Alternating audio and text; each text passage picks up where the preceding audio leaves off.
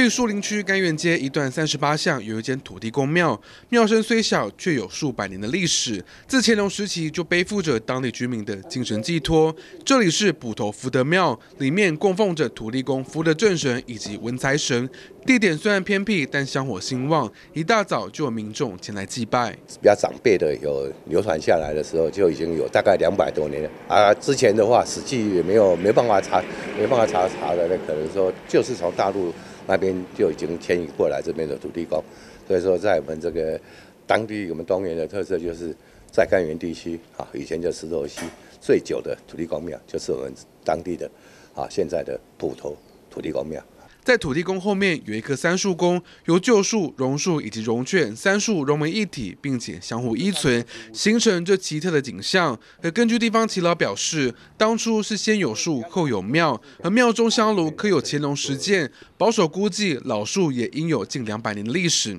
民国五十二年隔热里台风的时候，甘源地区大部分大淹水，但是所有水来到这边的时候，这边都没有淹到，所以最后。啊，一些年纪比较大的这样一些长者想说，因为我们杉树三这棵杉树，就觉得它还是有那个它的神灵在，